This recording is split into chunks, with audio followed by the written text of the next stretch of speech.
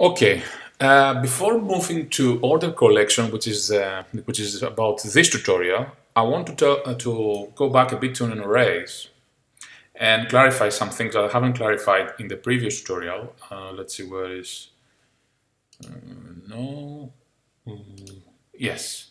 Now about this section here, the reason why we use a period here is because those and when we talk about the dynamic arrays we, what we do here is that we separate uh, Pharo statements. So when you create dynamic arrays, it's very important not to forget to put a period after each value you want to uh, to to put to your dynamic array because each part here is a Pharo statement. So this is why we use a period. We don't need a period for the last one because uh, a period is, is needed only uh, to separate uh, statements. So uh, Pharo knows which one is the first statement and knows understand which one is the last statement. So all we need is to put periods to separate the statements from uh, each other. Now let's proceed to uh, a new kind of collection, the order collection. We take the knowledge that we have already we have already received from the array tutorial, and we're going to build on that to explain the order collection, how it works. Now, to create an order collection, uh, all you have to do is create an instance, order collection new. Let's do this. And to uh, the difference between an order collection and an array is that an order collection can uh, uh grow in size and can also uh, reduce in size. Now, let's add uh, values to this collection. Now, if you see here, I've used something that uh, in Pharo is called a cascade. I have talked about cascade, uh, we have seen cascade earlier on, but it's actually very simple to understand. In order to send uh, the same message to the, to the same object uh, again and again, but with different arguments, or to send different kind of messages to the same object, I can use what called is a cascade. Now, here I'm using the same message, but you could use a different message and still use cascades. What cascades is doing is uh, allow me not to use the same object again and again and again. The, the object that receives the message is called the receiver. So I don't really need to put the receiver each time I send a message to it. Because the cascade, what it does is takes the same object and sends each message uh, that we put, uh, uh, uh I don't remember the, the name of the sign here, but it actually uh, cascades one message after the other. Until the final message which we use a period. Now, what we do here is use the add message. What the add message is doing is appending at the end of the order collection a new element, a new index, and put a, a, a, value inside that we specify. For example, we add hello, then we add enemy, then we add 3, and then we add 1. If we execute this, do it, and then we go here inspect this, inspect it, we'll see that it has created an ordered collection as we expected.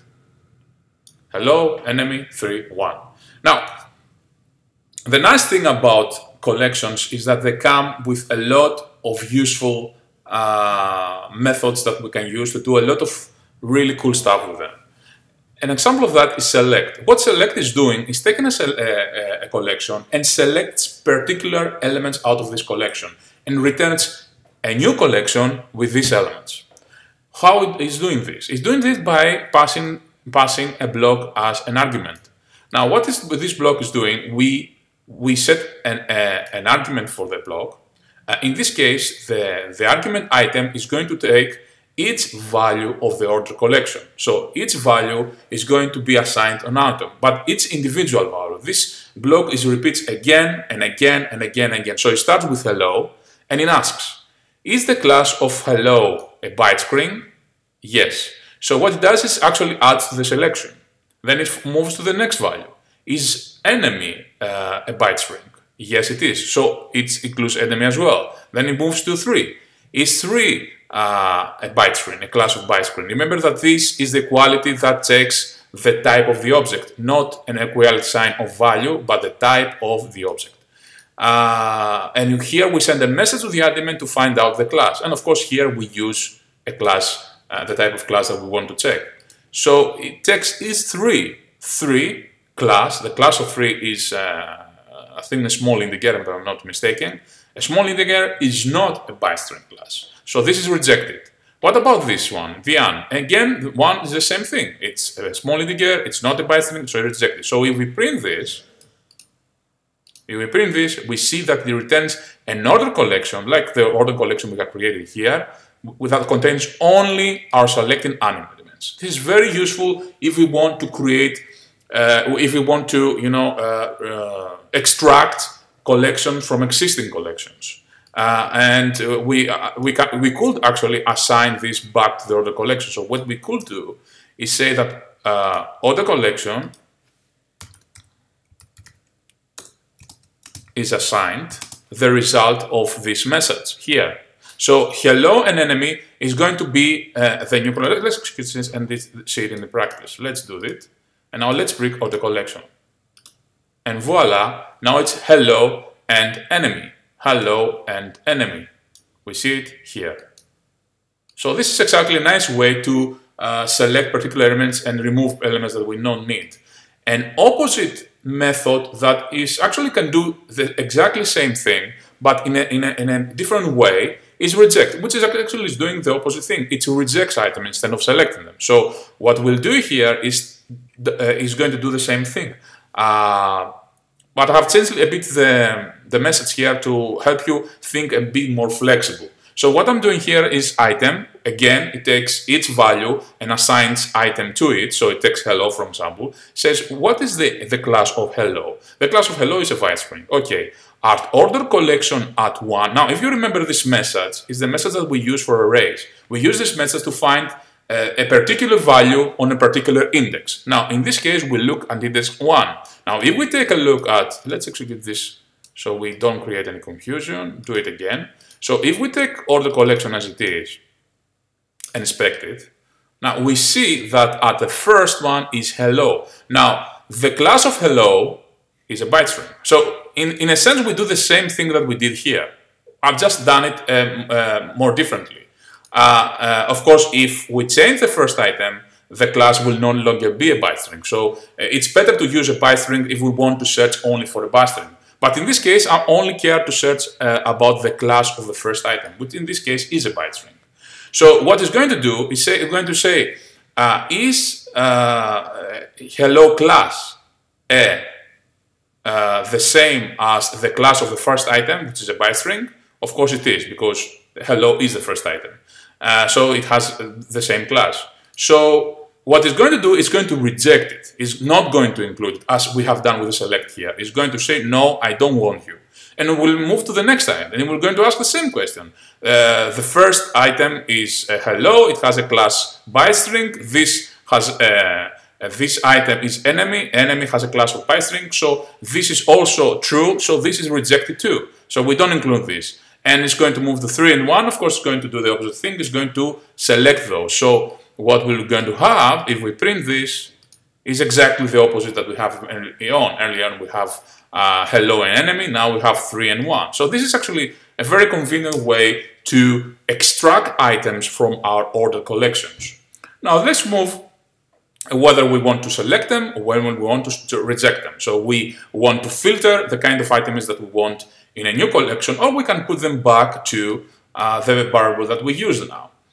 Uh, now, if what happens when we want to find the index of a specific item? Now, we know that we have an item that it says hello. So where this item really is? So what we do, we can send the index of method, bring this, and voila, it says that is in the first item. It is the first item. Of course, that's true. Now, let's say that we don't want the first item. We want to remove the first item. We want to remove the first index. We issue this command, remove at and the index. Now, if you go back here, now observe that how beautiful Inspector really is. I mean, look at this. It already, we don't really need to reopen the inspector. Already inspector has updated because it references the live object and has updated and shows us how the new uh, uh, collection is. So we see that already hello has been removed, which was the first item. Now let's say that we want to uh, add it back. So what, what this message is doing here is adds the, the uh, hello back, but adds it first. So he put it in index 1. So let's execute this, do it.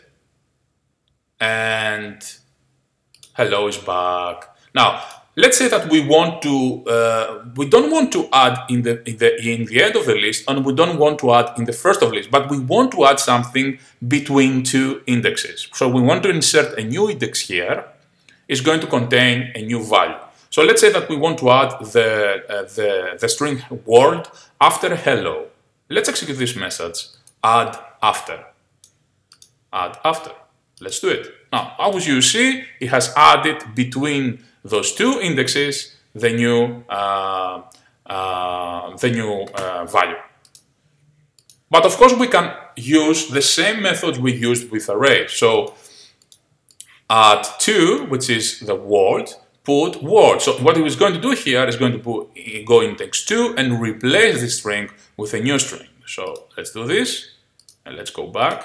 And again, we see inspector updates and we have the new string.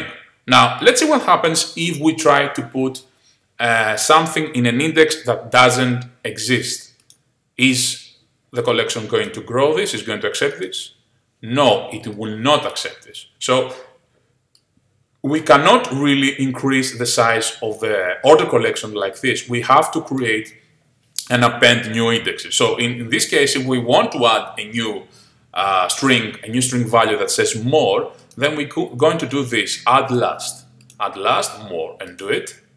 And voila, more is added at last. Now, one of the things that we haven't actually touched with arrays is that we can have collections inside uh, other collections. But first, let's see how we add a group of items very quickly. Now, I have created here a literal array. We know it's a literal array because it starts with this sign here, and we use spaces to separate uh, its value. I have chosen to use only strings for this one, but of course you can use numbers and booleans as we explained in the previous tutorial. Now let's do this.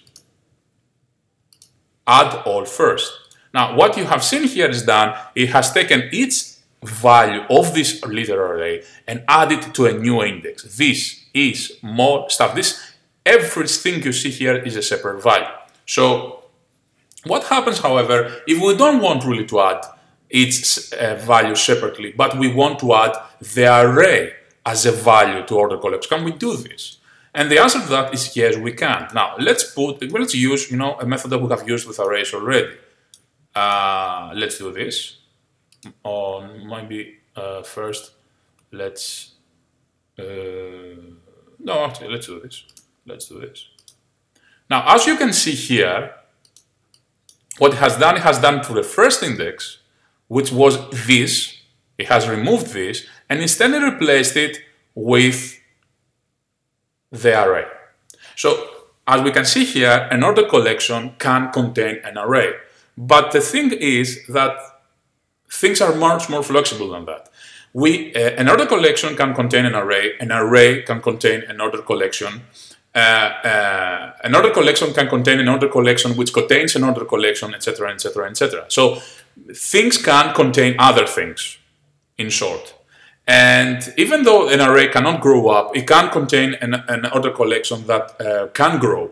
And the reason that this happens is because in, uh, in dynamic language, not just Pharo, uh, what you see is not that it accesses memory directly. What it does, it occupies a place in the memory, and what it does is its references. It says to you that you know something in this first item says go find this array in the memory because this array is on my first item. When uh, on this item, which is a string, go find a string in memory that says is in this uh, index, go find a string that says more. So this actually called references because you tell, uh, the order collection tells that where in memory we have stored the arrays and the strings that we contain as values here.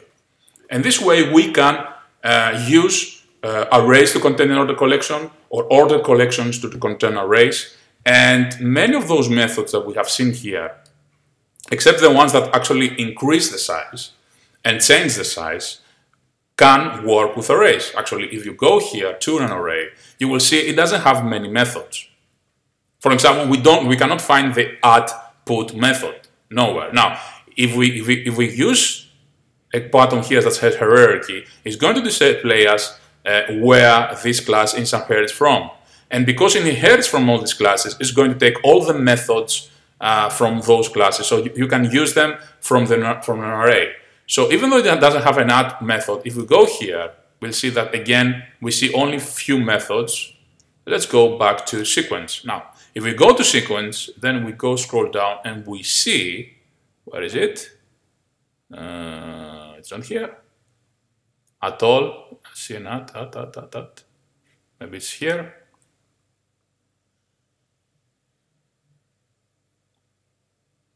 Yeah, somewhere. So it's, maybe I, I missed it. Let's see, at work, at work, at last. Yeah, I cannot find it right now, but you will see that there are a lot of methods that you can use, uh, maybe it's in an object, let's see object. You can use to uh, work with arrays that we haven't, mm, yep, yep, yes, it is part of object, that's why. Okay, so the add method we have used, an output method, we see that is part of the object. So uh, we see that there's a lot more methods to arrays that we can find uh, in, the, in the classes. And all these methods that we see appear in this object can be used from an array. So many of those methods, for example, if you go here and we go to sequence section, uh, it's uh, let's find a method that is remove, remove, remove, remove, remove. One second. Yeah, remove. Remove if absent, for example, which is something that we can find also in uh, or select that we can use uh, or uh, reject. Is here reject here? Reject. Reject. This is actually the method that we have used for order collection, but we can see that we can use them uh, at, uh, with arrays too. So make sure that you actually take a look at uh, the methods that are available for arrays and order collections and start experimenting. I mean, the, the fun about Pharo is experimenting with uh, what you have and the kind of method that you have. And if you have any questions about things, make sure that you visit Stack Overflow using the tag Pharo to ask questions about particular methods or particular things, because what we teach here is the very basic stuff. So I think that's all for now. Uh, have explained pretty much, I think, for order collections. And we're going to continue in, an, in, in another tutorial, in the next tutorial, with other kind of collections too. See you in the next tutorial. Bye-bye.